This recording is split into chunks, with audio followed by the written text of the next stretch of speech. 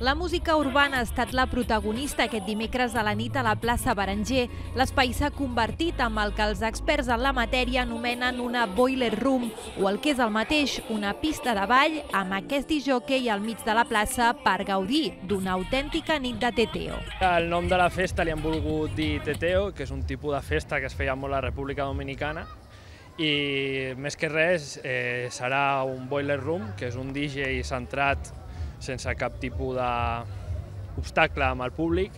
i la idea és fer enfocar o ser especialitzats en música urbana, música hip-hop. Ja fa anys que els organitzadors d'aquesta festa participen a la Festa Major de Granollers, tot i que aquesta vegada ha estat la primera que ho han fet amb aquest format. Fins a la plaça Berenger s'hi han apropat centenars de persones aficionades a aquest estil de música. Sí que és el primer que només és DJ, a anys anteriors amb el, els mateixos havien fet concert d'artistes d'aquí de la zona, del, del nostre tipus de música, de gent del nostre rotllo,